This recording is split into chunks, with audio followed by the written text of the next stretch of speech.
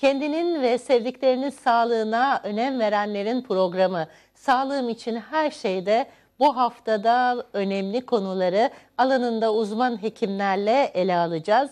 İşte bugün programımızda yer alacak konular ve uzmanlar. Sağlığım için her şey bu hafta yine dop dolu. Sanal bağımlılığı ve tedavisini Profesör Doktor Nevzat Tarhan, estetik diş dolgularını ve günübirlik diş estetiğini diş hekimi Tankut Seber, tüp bebek konusunda merak edilenleri operatör doktor Nurettin Türktekin, lazerle yakını ve uzağı görememe tedavisini operatör doktor Sinan Göker, karaciğer naklini ve organ bağışının önemini Profesör Doktor Koray Acar'la anlatacak. Az sonra sağlığım için her şeyde.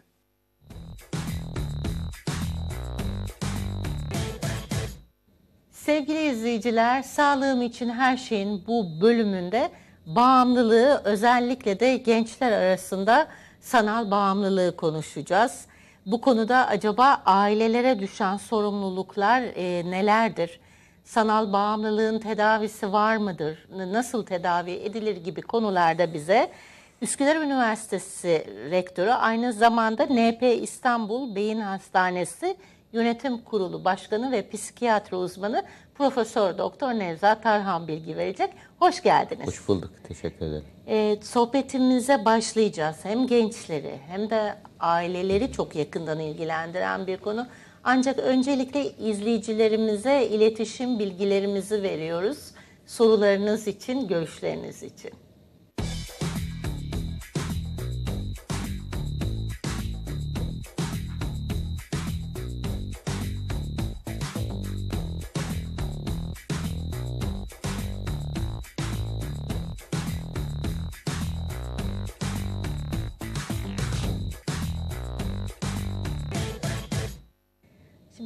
Günümüz artık teknoloji çağı. Evet.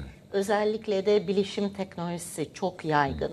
Bakıyoruz artık özellikle gençlerin elinden e, tabletler, bilgisayarlar, akıllı cep telefonları düşmüyor. Kullanımı çok yaygın ama şimdi bir de sanal bağımlılık var. Sanal bağımlılık dediğimizde nasıl bir durumu kastediyorsunuz? Tabii sanal bağımlılık bunu e, e, e, şey ismiyle, kitaplardaki ismiyle davranışsal bağımlılık. Davranışsal bağımlılık madde kullanmadan madde kullanmış gibi kişideki beynindeki ödül ceza sistemini bozuyor. Aynı etkisi var. Kumar bağımlılığı da, o sanal bağımlılıklardan, oyun bağımlılığı, işte sosyal medya, e, internet bağımlılığı gibi e, bütün alanlardaki bağımlılık türlerine tıpkı e, bu sanal bağımlılık nedeniyle gençler, özellikle gençlerde bu daha çok ama orta yaşta da var.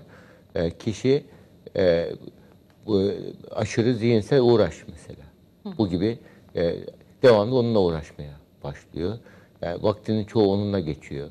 Ve ulaşamadığı zaman öyle e, e, alan kapsam dışı kaldığı zaman müthiş huzursuz oluyor. Sinir, sinirli oluyor. Ve yani kararları verirken bir yere giderken, bir yerde otururken, işte bir restoran vesaire bir yere giderken var mı yok mu diye onu muhakkak araştırıyor. Bunun gibi ve sabah kalkar kalkmaz hemen onu kontrol etmeye çalışıyor. Ve e, başarısız bırakma girişimleri dediğimiz yani kişi ya bugün çok kullandım, çok vaktimi harcadım diyor başlıyor ama durduramıyor kendini. Bunun gibi yahut da e, kişi e, tehlikeli kullanım dediğimiz yani araba kullanırken kullanıyor. Mesela. Ya, Direksiyonda evet, kullanıyor. Yolda giderken kullanıyor, çukura düşüyor. Ya bunlar tehlikeli kullanım, zararlı kullanım, sağlığına zarar veriyor. Buna rağmen kullanıyor. Bütün madde kullanımdaki bütün ölçütlere bakıyorsun, tolerans gelişimi gittikçe planlanandan daha uzun kullanıyor. Bunlara bakıyorsun aynı madde kullanıyor. Beynin, beynin ödül ceza sistemini bozmuş ve bu bunun farkı da bir madde kullanırken, bir kokain alırken muhakkak işte e, e, para veriyorsun, e, bir zam şey ayırıyorsun, yasal yol dışında kolay ulaşılabilir değil. Bu elverişli, kolay ulaşılabilir. Bir de 7-24. Öbürü belli şartlı zamanlarda kullanıyorsun. Bu gibi özellikleri nedeniyle gençleri de salgın var resmen. Peki gençlerde salgın var diyorsunuz. Ee, sanal bağımlılık peki neden artıyor? Kimler hani sanal bağımlılık açısından risk grubuna giriyor. Şimdi çoğu genç de çok yaygın kullanılıyor ama orada herhalde bir ince çizgi var. Bu bağımlılığa kayanlar daha çok nasıl birileri oluyor? Can alıcı soruyu sordunuz gerçekten. Şimdi e, binlerce genç kullanıyor ama herkes bağımlı olmuyor. Yani burada e, bağımlı e, olan kişilerin e, e, araç e, incelediğimizde şu üç, üç özellik var. Birincisi bu kişiler stres azaltma tekniği olarak kullanıyorlar. Yani negatif duygularla baş etme tekniği olarak, rahatlama tekniği olarak. Yani mutlu değiller ve gizli depresyon var bu kişilerde. Self medikasyon gibi yani kendi kendini tedavi etme gibi bu- bu internete giriyor. Evin güvenli ortamında çok güvensiz alanlarda müthiş böyle sahte zevklerle, eğlencelerle vakit geçiyor. O anlık rahatlatıyor. Ama ya, ya- yapay olduğu için, sanal olduğu için kişi e, bunu e, e, hayatında zamanını harcıyor, duygusal olarak bağlanıyor. E, fakat e, kişi durduramıyor kendisini. Mesela 20, 25 saat e, bilgisayar karşısında durup kalp krizi geçiren ölenler, var literatürde. Hiç uyumadan, Hiç uyumadan. 25 saat. Tabii, Evet. kalp ölenler var. Hatta geçen Türkiye'de de e, e, basına yansıdı. Hiç yerinden kalkmadığı için bacağının toplar damar pıhtılaşmış. Hastaneye kaldırmış bir çocuk hiç kımıldamadığı için. Yani bunun gibi vakalar var. Yani hatta e, tu- tuvalette vakit harcamamak için pet şişeye e, tuvalet Oh. gibi kullanan bu derece okul reddi oluyor. Okulu reddediyor. Gitmiyor okula. Bunu, hangi o ki- kişilerde var bu? Biri ve mutsuz kişilerde. Ona vererek kendine yapar, sahte bir mutluluk. Yani aynı mutlu olmak için kokain kullanır gibi olan kişiler. Bir diğer grup kişiler evde sağlıklı iletişim yoksa, yani bir sevgi sıcaklığı yoksa evde, iyi bir ortam yoksa, ya bir genç bağlanma nesnesi arıyor. Yani bu anneye, babaya, bir e, arkadaş grubuyla bir böyle e, sıcak bir ilişki kuramıyorsa, bağlanma nesnesi zararsız bir nesne. Nesne olarak kokain yerine internete bağlanıyor. Bir de Maddeye hocam bağlanıyor. sanal e, ilişkiler var, sanal aşklar var. E, bu ne zaman tehlike arz ediyor? Neden e, gençler daha çok sanal ilişkiye, sanal aşka kayıyorlar? Eğer aşkı ya da flörtü gerçek hayatta yaşamaktansa. Tabii liseli aşıklar var biliyorsunuz. Hemen aşık olur ama e, o- bir müddet sonra unutur, bir daha aramaz liseli aşıklar. Yani bu ergenlik dönemi de duyguların e, mantıktan ön, ön plana çıktığı dönem. Hislerin baskın olduğu dönem. Mantıksal kararlar veren beyin bölgeleriyle duygusal karar veren beyin bölgeleri her insanda dengeli çalışır. Beynin ön bölgesi onu dengeler. Bu e, ergenlik döneminde onun için delikanlı denmiş. Hatta ergenlik dönemi için bazı psikologlar e, bu e, dönem normal şizofrenik dönem diyorlar. Düşün. Yani şizofren gibi davranır ergen. O kadar saçma hareketler yapar ki ani kararlar verir, saçma hareketler yapar. Sen, e, eğer aynı hareketi 40 yaşında biri yapsa hasta dersiniz. Evet. Ya o ama ergenlikte o doğaldır. Yani belli bir oranda kabul edilebilir sınırlardadır. Şimdi bu, bu dönemde eğer e, e, duygusal olarak dengeli bir ilişkisi yoksa, ona mentörlük yapacak, rehberlik yapacak, yol gösterecek aileden, çevreden kişiler yoksa bir genç rahat yanlış bir e, yöne gidebiliyor böyle durumlarda. Yani e, özellikle ailenin burada annenin babanın ebeveyn desteği, gözetimi önemli. Yahut da e, burada tabii ergenlikten sonra çocuk anne babadan çok Tabii. bu dış e, tesire daha çok açık hale geliyor. Yani bu da toplumdaki medyanın önemli rol- rolü var. Okulun, arkadaşların önemli rolü var. Yani çocuk şu esas bu çocuk eğer evi seviyorsa, aileyi seviyorsa yanlış bir şeyler yapsa bile, denese bile bir müddet sonra tekrar dönüp gelebiliyor. Ama evde mutsuzsa bir mutluluk nesnesi arıyor, mutlu edecek bir nesne alıyor. Aslında yine e, çok doğru bir noktaya temas ettiniz. Şimdi pek çok kişi şunu merak ediyor. Çocukluktan da biraz da başlıyor herhalde bu internete, bağımlılığa yatkınlık. Bakıyorum çevremde de anneler babalar bir restoranda rahat edebilmek için, kumsalda havuz başında rahat edebilmek için çocuğa ve daha yani çok küçük 3-4-5 yaşlarında bile kendi cep telefonlarını veriyorlar. Ee, onlara minik bilgisayarlar alıyorlar. Burada anne babalar e, ne yapmalı? Bir çocuğa bilgisayar kullanımı ne zaman e, öğretilmeli? E, günde belli bir saat sınırlaması yapılmalı mı? Yaş gruplarına göre e, bu değişir mi? Tabii şimdi burada da bu de tartışılan bir konu. Ama çocuğun böyle bilgisayar karşısında olması genellikle yani ilk ilkokul dönemde, ilk e, dönemde 10 yaşına kadar olan dönemde haftada 20 saati geçmesin diye söyleniyor. Bunun bir kısmı tabii okulda ödev de oluyor, ders de oluyor. Yani okulla ilgili konular da oluyor. Ama e, okul zamanı farklı, yaz tatil zamanı, Şubat tatil zamanı gibi dönemler farklı oluyor. E, burada önemli olan çocuğun e, bilgisayarla ya da cep telefonuyla zaman ayırmasından daha çok e, anne babanın özellikle 0-6 yaş döneminde çocuğu bu televizyonu bilgisayar ucuz bakıcı gibi görüyor. Yani onu aman gözümün önünde olsun, oynasın diyor. Hatta bu yüzden klip sendromu diye bir sendrom tanımlanıyor popüler psikiyatride. Ee, çocuk bütün gün e, eğlence kanallarını izlemekten, klip e, dinlemekten konuşma becerisi gelişmiyor. Gecikmiş konuşmayla 3-4 yaşında çocuk doktora götürülüyor. Ya bu çocuk konuşamıyor, yaşı geçiyor diyor. Bir araştırılıyor ki evde devamlı televizyon karşısında çocuk. Yani konuşma ihtiyacı hissetmemiş, hep dinliyor. Sözcük üretmeye beyin zor, zorlanmamış. Onun üzerine hemen televizyon kapatılıyor, çocuk doğal ortama alınıyor. Yani televizyon doğal ortam değil. Yani özellikle 0-3 yaş arasında çocuğun tek başına televizyon seyretmek bu çocuğun e, ya bak çocuk 2 yaşında 3 yaşında müthiş bilgisayarla televizyon oynuyor diye sakın sevinmesinler. Bu çocuğun zeki olduğunu göstermez. Anne babanın çocuğu ihmal ettiğini gösterir. Evet. Ya bu- aslında bu ihmalin işaretidir bu. Çünkü anne babanın orada Tabii. daha çok çocukta sıcak Tabii. bir iletişim kurması gerekli. Şimdi Duygusal ihmal diye geçiyor ve çocukluk çağı travmalarından birisidir.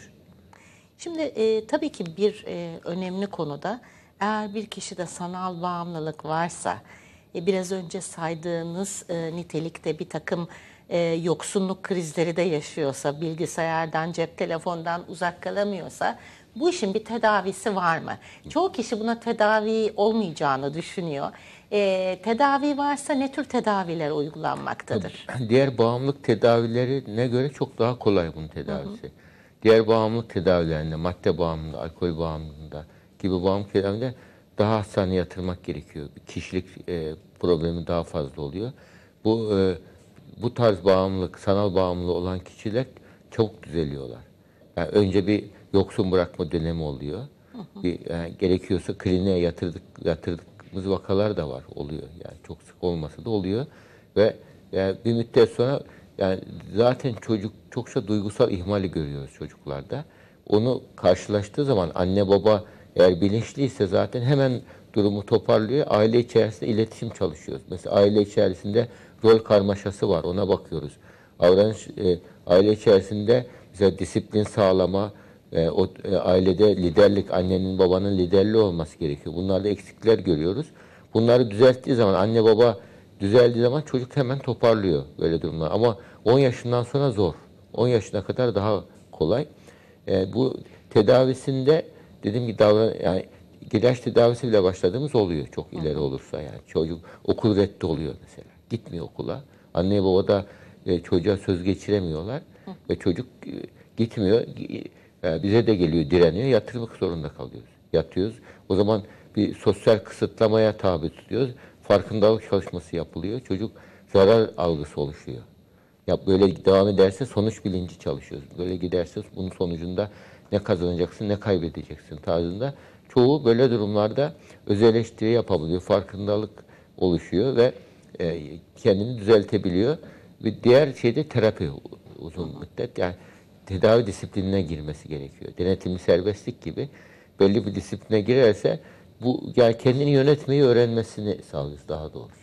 Peki, e, şimdi artık süremizin de yavaş yavaş sonuna geldik ama daha birkaç soru daha sormak istiyorum. Onun için e, zamanı verimli kullanmak adına bir e, çocuk ya da genç e, eğer sanal bağımlılığa sahipse bu kişi de ileride e, madde, e, alkol e, bağımlılığı, kumar bağımlılığı gibi bağımlılıklarında ortaya çıkma e, riski var mıdır? Tabii var. Yani zaten genellikle şimdi bu akıllı telefonlarla ilgili e, kontrolsüz uğraş oluyor. Sigara başlıyor.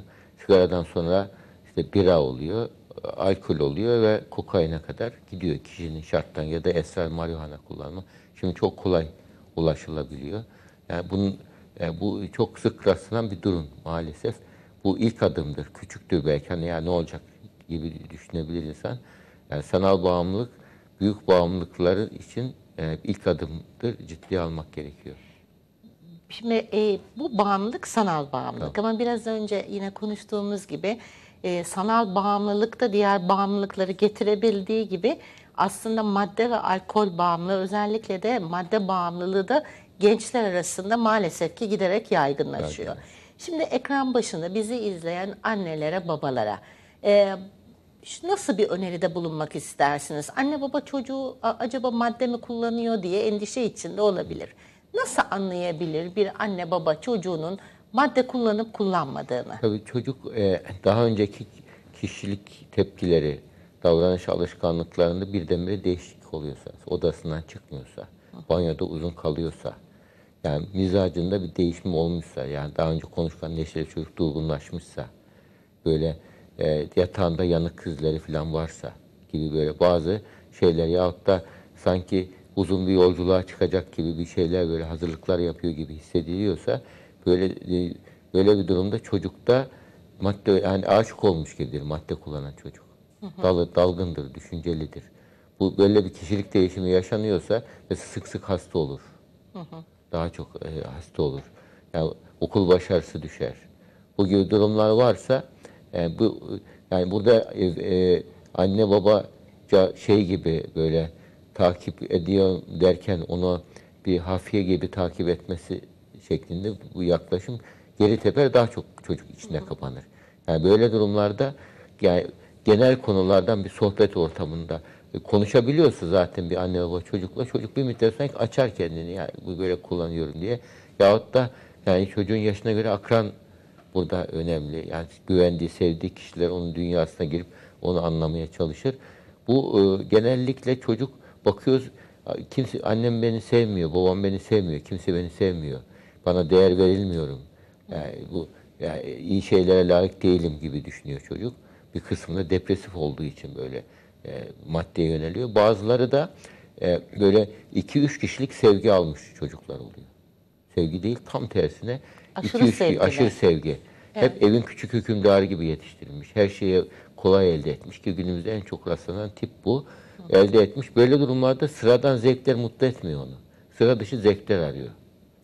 Yani sıra dışı zevkler alıyor. Bu sefer daha çok zevk verecek diye maddeye yöneliyor. Esrarla başlıyor. Sigaralık gibi gibi bonzai gibi birçok şeylere yöneliyor. Yani burada tabii aile içerisinde e, bir aile içerisinde yatay ilişkiler, dikey ilişkiler sağlıklıysa bir müddet sonra çocuk burada bir iki deneme yapsa da daha sonra diyor ki ya bu işin sonu yok.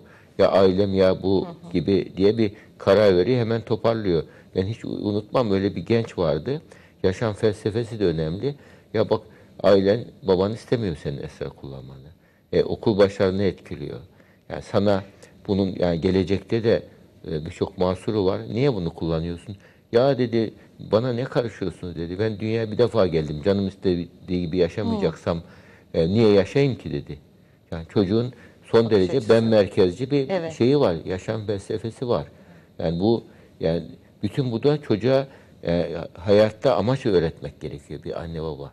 Aslında çocuk yetiştirmek bir sanat. Sanat. Başlı başına e, bir e, bilgi işi, eğitim işi.